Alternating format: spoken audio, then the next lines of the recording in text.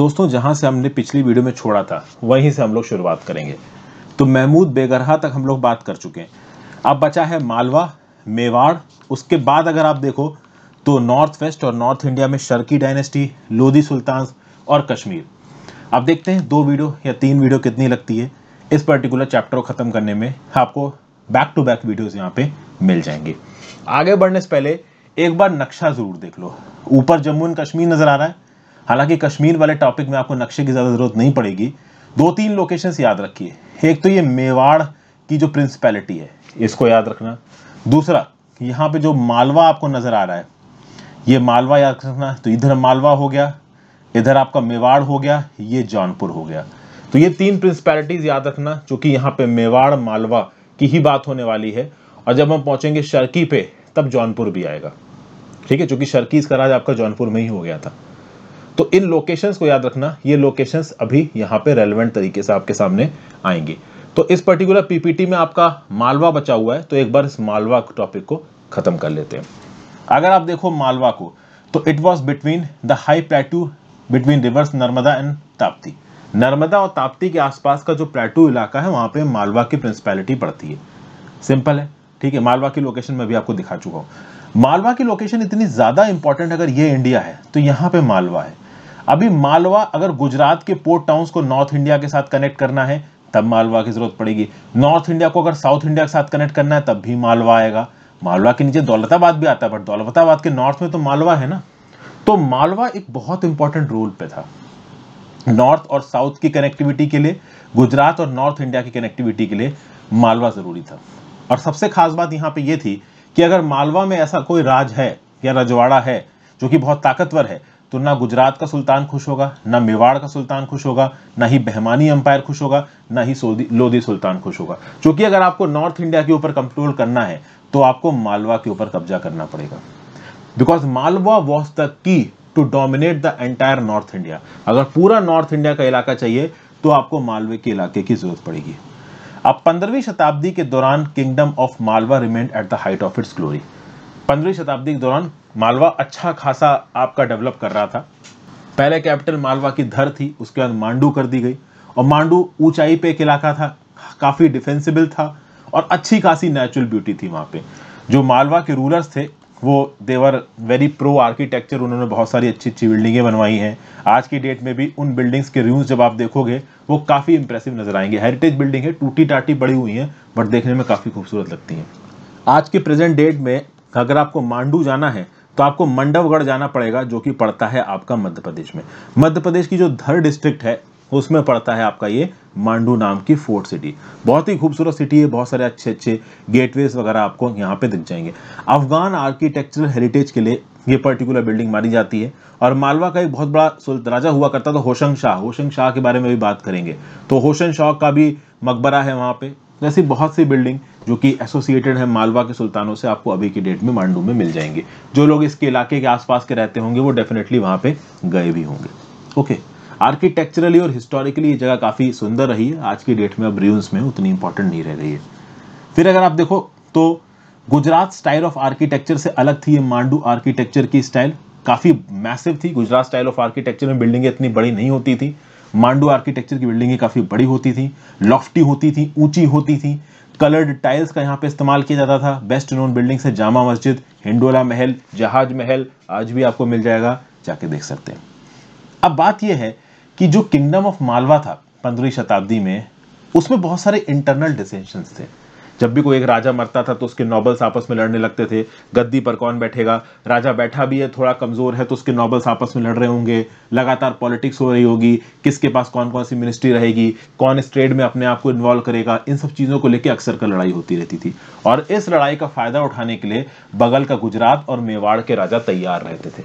गुजरात के राजाओं की बात हम कर चुके हैं और मेवाड़ के राजाओं की बात हम आगे करेंगे। मेवाड़ के राजाओं की बात होती है तो दो ही राजा आपके दिमाग में आने चाहिए, राजा कुंभा और राणा सांगा। ठीक है भाई?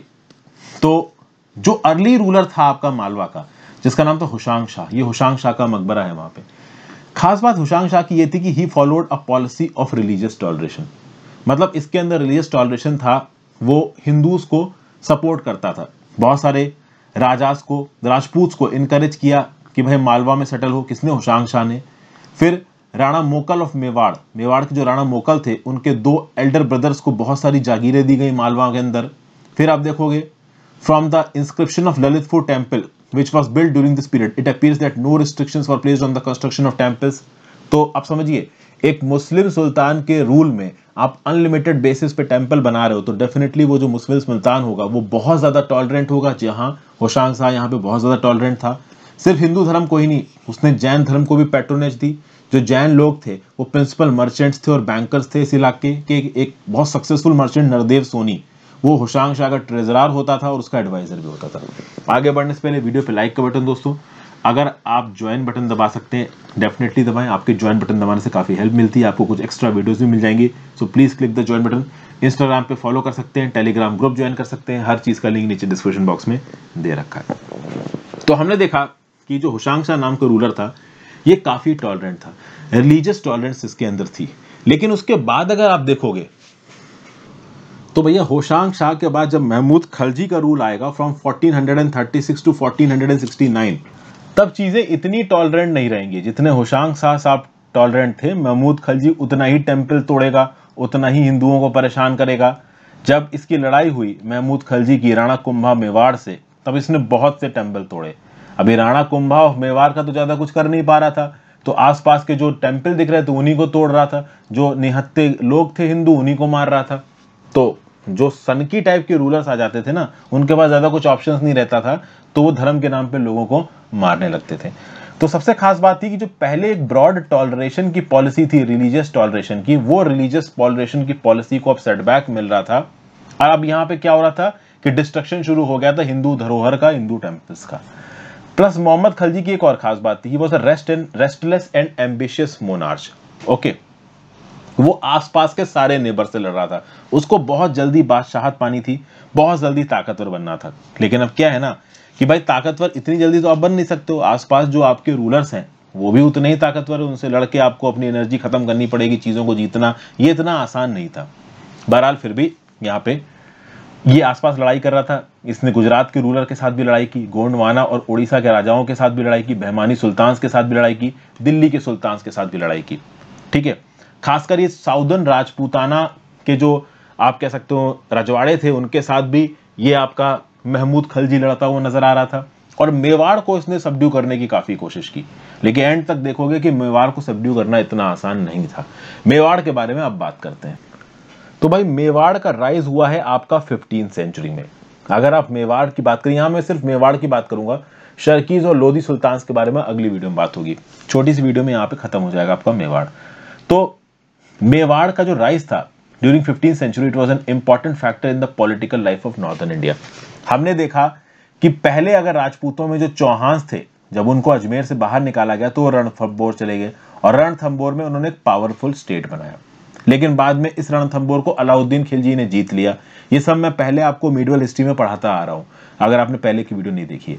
फिर राजपूताना में चौहान की ताकत खत्म हो गई, लेकिन राजपूत यहाँ पे खत्म नहीं हुए थे। छोटे छोटे राजपूत के रजवाड़े निकलेंगे यहाँ पे, और ये जो छोटे छोटे राजपूत प्रिंसिपैलिटीज निकलेंगी, ये बहुत ताकतवर होंगी, और एक प्रिंसिपैलिटी थी आपकी मेवाड़। ओके। ये जो मेवाड़ स्टेट बना, इसकी जो कैपिटल थी वो जोधपुर में थी। बना कब ये चौदह सौ पैंसठ एडी में? इसके पास एक मांस, ये मुस्लिम प्रिंसिपैलिटी भी बनी नगौर की, नगौर आपका राजस्थान में। अब आप देखोगे कि अजमेर में बहुत लंबे समय तक मुस्लिम गवर्नर्स रहे। लेकिन इन मुस्लिम गवर्नर्स में भी आसपास अक्सर का लड़ाई होती रहती थी। कभी कभी अजमेर के आसपास के इलाकों में राजपूतों का भी राज हो जाता था। कुल मिला जो राजस्थान था सेंट्रल इंडिया था, इसकी पॉलिटिक्स काफ़ी हिली हुई थी। यहाँ बहुत लड़ाइयाँ होती थी।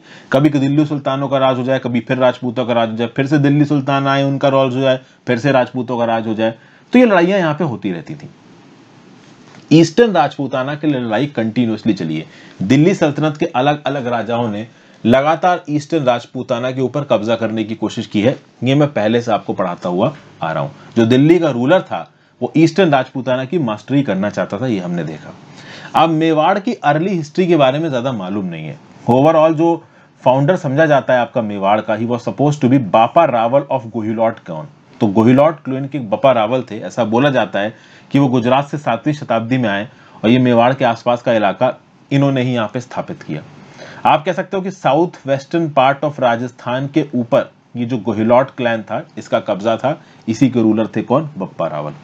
ये जो गोहिलॉट्स थे, ये they rule from Chittor to the time of Ratan Singh who was ousted by Alauddin Khilji Ratan Singh तक के टाइम तक यहाँ पे आप कह सकते हो कि चित्तौड़ के आसपास के इलाके में, और ये जो चित्तौड़ था, ये आपका मेवाड़ में आता था, यहाँ पे राज किया इन गोहिलॉट्स ने। राज कब तक किया? जब तक अलाउद्दीन खिलजी राज में नहीं आया अलाउद्दीन खिलजी ने इस पूरे इलाके को अपने ऊपर कब्जा कर लिया। तो ये जो मेवाड़ का इलाका है, जिसके बारे में हम चौदह सौ पैंसठ में बातचीत कर रहे हैं अभी अभी अगर आप देखोगे कि ये मेवाड़, मालवा के जो और गुजरात की जो आपस की लड़ाई होगी, इससे पहले आप देखोगे कि अलाउद्दीन खिलजी से पहले यहाँ पे कौन क्लैन राज करती थी? गोहिलॉट क्लैन राज करती थी।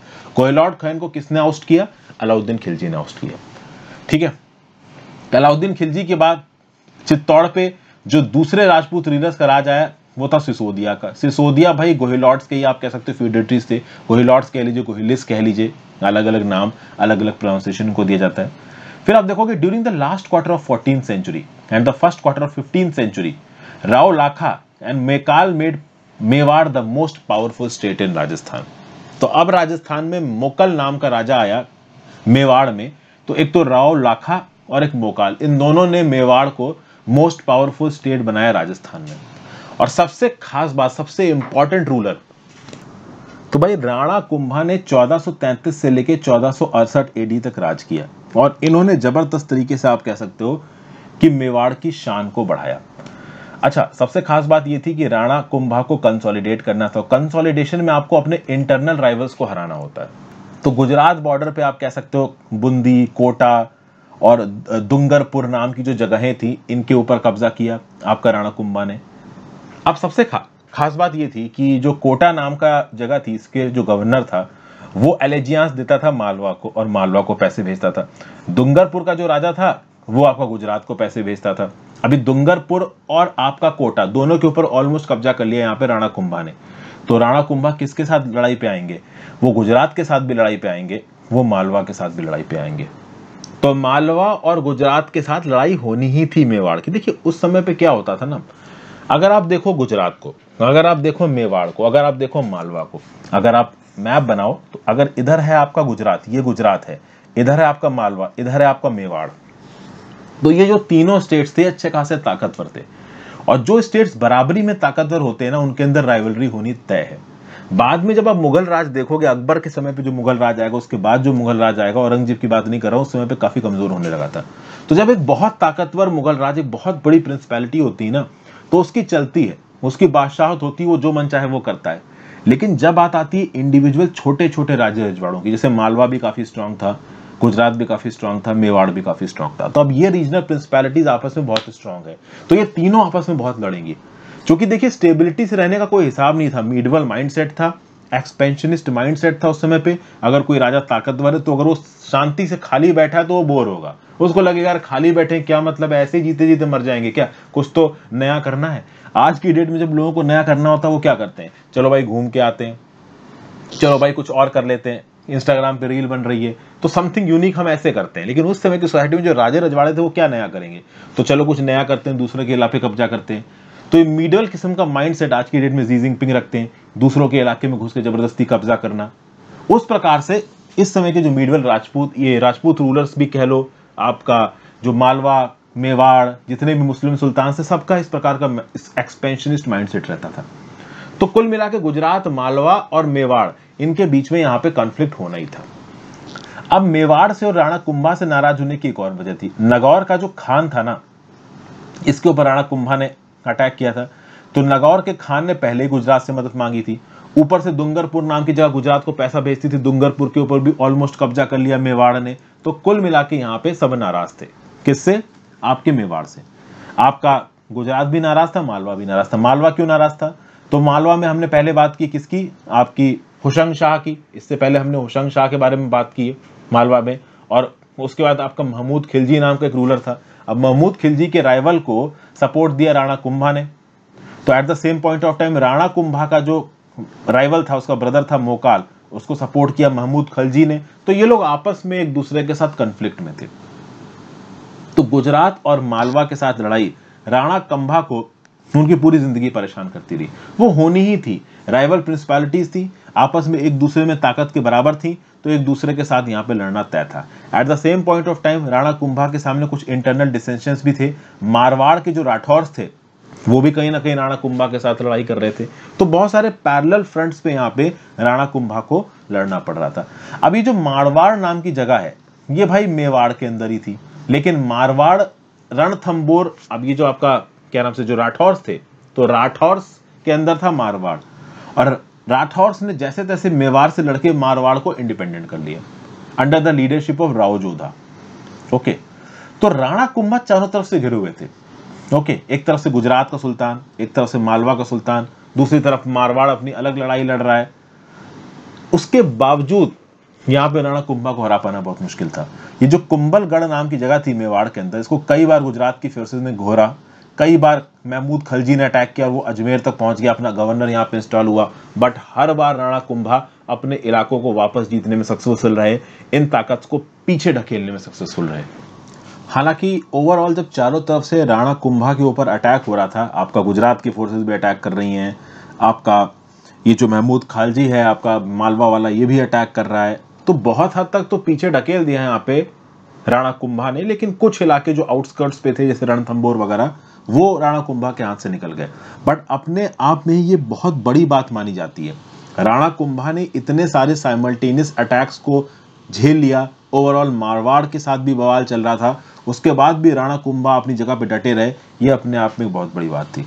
फिर राणा कुंभा की बात की जाए तो he was a pattern of learn man Rana Kumbha खुद ही एक लर्न मैन थे। इन्होंने बहुत सारी नंबर ऑफ़ बुक्स को कंपोज किया था। ओके जिनको आज भी पढ़ा जा सकता है some can still be read अगर आप देखो तो ruins of his palace and the victory tower victory tower को कीर्ति स्तंभ भी कहा जाता था which he built at Chittor show that he was an enthusiastic builder as well बहुत सारी बिल्डिंग्स बड़ी बड़ी भी यहाँ पे बनवाई हैं। आपकी राणा कुंभा ने विक्ट्री टावर है, इनका खुद का पैलेस है, बहुत सारी लेक्स डक करवाई थी, बहुत सारे रिजर्वायर्स बनवाए थे इरीगेशन पर्पजेस के लिए। और जो भी टेम्पल्स राणा कुंभा के समय पर बनाए गए थे, उसमें art of stone cutting sculpture ये सब बहुत हाई लेवल का है। लेकिन राणा कुंभा को उनके ही बेटे उदा ने मरवा दिया गद्दी पर बैठने के लिए। तो गद्दी पर बैठने के लिए बाप को मार देना, ये सिर्फ़ मुस्लिम डायनेस्टीज में नहीं देखा गया है, ये हिंदू डायनेस्टीज में भी देखा गया है। ओके? एक हरण्य का डायनेस्टी थी एंशंट इंडिया में, वहाँ पे भी इसको बहुत देखा गया था। वो बीसी में मैं चला गया हूँ। तो हर इरिस्पेक्टिव ऑफ़ धर्म, बाप को मार के गद्दी पर बैठना इसके इंस्टांसेस हर प्रकार की डायनेस्टी में यहाँ पे बैठे गए। हालाँकि उदा के अंदर भी कैपेबिलिटी नहीं थी तो वो ज़्यादा लंबे समय तक राज को नहीं संभाल पाया और उसको भी हटा दिया गया गद्दी से। फिर आप देखोगे कि बहुत लंबी फैक्ट्री सिडल कॉन्फिडेंट चला। बहुत सारे भाई जो थे, राणा कुंभा के बेटे, वो आपस में लड़ रहे थे। और कुंभा का ग्रैंड सन राणा सांगा गद्दी पर बैठे थे मेवाड़ की 1508 में। और ये बहुत सही हुआ। किसके साथ? आपका मेवाड़ के साथ। क्योंकि Rana Sanga was a very efficient ruler 1508 में यह गद्दी पर बैठा। राणा कुंभा की डेथ से लेके राणा सांगा के गद्दी पर बैठने के बीच में रैपिड इंटरनल डिसइंटीग्रेशन हुआ है मालवा का। आप समझिए ओवरऑल मालवा उस समय पे बहुत ज़्यादा ताकतवर नहीं था। मालवा उस समय बहुत ज़्यादा ताकतवर होता तो राणा कुंभा के मरने के बाद जो मेवाड़ में बवाल हो रहा था, इसका फ़ायदा उठा सकता था मालवा का रूलर बट मालवा में खुद ही प्रॉब्लम हो रही थी। मालवा का जो रूलर था, महमूद टू, इस महमूद टू की मिदनी राय के साथ बनी नहीं। मिदनी राय ईस्टर्न मालवा का एक पावरफुल राजपूत लीडर था। पहले इसी मिदनी राय की वजह से, राजपूत लीडर की वजह से, आप कह सकते हो कि जो मालवा की सेंट्रलाइज मुस्लिम सुल्तान था, वो रूल कर पा रहा था। अब ये powerful Rajput ruler Medini Rai Mahmud two से लड़ने लगा। गद्दी के ऊपर यहाँ पे लड़ाई होने लगी। तो मालवा भाई यहाँ पे कमज़ोर पड़ गया। जब मालवा यहाँ पे कमज़ोर पड़ गया तो मालवा ने मदद मांगी गुजरात से। मालवा के मुस्लिम सुल्तान ने। तो ये जो मालवा का मुस्लिम सुल्तान था आपका महमूद टू अगर कंफ्यूजन हो रहा तो मैं फिर से बता देता हूँ। ये इंडिया है। यहाँ आपका गुजरात है। ये गुजरात है। यहाँ आपका मालवा है, यहाँ मेवाड़ है। अभी मालवा का जो ईस्टर्न पार्ट है मालवा का, यहाँ पे मेदिनी राय नाम का एक राजपूत रूलर बैठा है। और जो मेन रूलर है मालवा का, वो है महमूद टू जो कि एक मुस्लिम रूलर है। महमूद टू के अगेंस्ट बदावत कर दी मेदिनी राय ने। जो कि एक राजपूत रूलर था। तो अपने अंपायर को कंसोलिडेट करने के लिए महमूद टू ने धर्म के आधार पर गुजरात के मुस्लिम सुल्तान से मदद मांगी। तो at the same point of time धर्म के आधार पर मेदिनी राय ने किससे मदद मांगी? मेवाड़ से मदद मांगी। और मेवाड़ में बैठे हुए थे कौन? राणा सांगा। 1517 में एक बैटल होता है और महमूद टू को राणा सांगा हरा देता है और उसको चित्तौड़ प्रिजनर बना के ले जाता है। छह महीने बाद वो उसको रिलीज़ कर देता है। उसके सन्स को हॉस्टेज रख के ताकि ये महमूद टू कुछ फालतू का बवाल ना करे। और जो ईस्टर्न मालवा था ओवरऑल इस पूरे सिनारियों में जो मेदिनी राय था, उसको भी काफ़ी कुछ मिला, और ईस्टर्न मालवा वाला। और ईस्टर्न मालवा का जो चंदेरी वाला इलाका था आसपास का, ये सब राणा सांगा के अंदर चला गया। हालाँकि पूरा मालवा राणा सांगा के अंदर नहीं गया था। लेकिन ओवरऑल ये जो महमूद वाले रूलर्स थे, इनका काम अब पूरी तरीके से खत्म हो चुका था। तो मालवा के अंदर जो मुस्लिम डायनेस्टी चल रही थी ना आपकी, महमूद खलजी वाली, उसके बाद महमूद टू, ये सब अब खत्म हो चुकी थी। और इसको देख के लोधी रूलर्स ऑफ़ दिल्ली को हो गई प्रॉब्लम अब दिल्ली में बैठा था लोधी। अब लोधी डायनेस्टी दिल्ली में आ चुकी थी, लोधी एक अफगान डायनेस्टी थी। बट थे तो मुस्लिम्स। तो इनको देख के लगा कि भाई, ये मेवाड़ एक हिंदू राजपूत है, इस एक हिंदू रजवाड़ा है, और इसने एक मुस्लिम, आप कह सकते हो प्रिंसिपैलिटी मालवा को हरा दिया। तो इसको देखते हुए लोधी रूलर जो इब्राहिम लोधी था, इसने अटैक कर दिया मेवाड़ के ऊपर। लेकिन मेवाड़ को जीत नहीं पाया क्योंकि इस समय पे राणा सांगा बहुत ताकतवर था। खतौली में राणा सांगा ने इब्राहिम लोधी को हरा दिया। ठीक है? इब्राहिम लोधी बैक ट्रैक कर गया, अपनी इंटरनल पोजीशन कंसोलिडेट करने लगा, और उस समय पे यहाँ पे एंट्री होती है आपकी बाबर की। ओके भाई तो ये सब चीज़ें थी। तो अब दो प्लेयर्स में तो लड़ाई हो ही रही है। यहाँ पे एक तरफ़ है आपका राणा सांगा जो कि काफ़ी ताकतवर हो चुका है। दूसरी तरफ़ है आपका इब्राहिम लोधी इन दोनों में लड़ाई हो रही है और बाबर एंट्री मार रहा है। यहाँ पे राणा सांगा ने एक प्रकार से बाबर को वेलकम किया ताकि वो इब्राहिम लोधी से लड़के उसको खत्म कर दे। लेकिन बाद में बाबर की लड़ाई आपकी राणा सांगा से भी होगी। At the same point of time बहुत सारे जो हिस्टोरियंस हैं, उन्होंने ये बोला कि ये बहुत इंटरेस्टिंग होता अगर बाबर इंडिया में नहीं आया होता। क्योंकि अगर बाबर इंडिया में नहीं आया होता तो राणा सांगा और इब्राहिम लोधी की लड़ाई में कौन जीतता, ये भी बहुत देखने वाली बात है। हो सकता है ये होता कि राणा सांगा ओवरऑल इब्राहिम लोधी को हरा के पूरे नॉर्थ इंडिया पे कब्जा कर लेता। और अगर वो पूरे नॉर्थ इंडिया पे कब्जा कर लेता तो एक मुस्लिम मुगल डायनेस्टी बनने के बजाय एक हिंदू डायनेस्टी बन जाती नॉर्थ इंडिया में। और उसके बाद चीज़ें कैसे आगे बढ़ती इस बारे में ज़्यादा कुछ कहा नहीं जा सकता है। क्योंकि किसी को भी नहीं पता था बाबर की एंट्री के समय पे कि इतना स्ट्रांग मुगल अंपायर बनेगा। हो सकता है राणा सांगा जीत जाता, अगर इब्राहिम लोधी के अगेंस्ट बाबर की एंट्री ना होती तो हो सकता है कि आगे आने वाले समय में एक बहुत बड़ी हिंदू डायनेस्टी बनती इंडिया के अंदर। कुछ नहीं कह सकते। हिस्ट्री में जैसा कि मैंने आपको बताया कि कुछ ऐसे पर्टिकुलर मोड आ जाते हैं जहाँ पे हर चीज़ बदल जाती है। ये पर्टिकुलर मोड, ऐसे मोड कभी कभी आपके लाइफ में भी आते हैं। इस प्रकार के जो मोड होते हैं ना, वो पूरी की पूरी हिस्ट्री को बदल के रख देते हैं। ठीक है भाई? तो ये हमने छोटा सा यहाँ पे एनालिसिस देखा। मालवा आपको यहाँ नज़र आ रहा है, मेवाड़ आपको यहाँ नज़र आ रहा है, गुजरात आपको यहाँ नज़र आ रहा है। ओके ये एक हल्का फुल्का नक्शा है। और मेवाड़ और लोधी अंपायर की जो डोमिनेंस है वो यहाँ नज़र आ रहा है। तो दोनों के बीच में लड़ाई होना यहाँ पे तय था। और फिर आ जाइए यहाँ पे बाबर की एंट्री तो ये था इसका एनालिसिस दोस्तों, अगली वीडियो में north west and north India Sharqi Lodhi dynasty और कश्मीर के बारे में बात करेंगे। थैंक यू फॉर वॉचिंग ज़्यादा से ज़्यादा लोगों के साथ इस वीडियो को शेयर करें। आप अपने व्यू पॉइंट नीचे कमेंट बॉक्स में दे सकते हैं। हो सके तो इंस्टाग्राम पर फॉलो कर लीजिए टेलीग्राम ग्रुप ज्वाइन कर लीजिए और ज्वाइन बटन दबा के हेल्प करिए। Good bye have a great day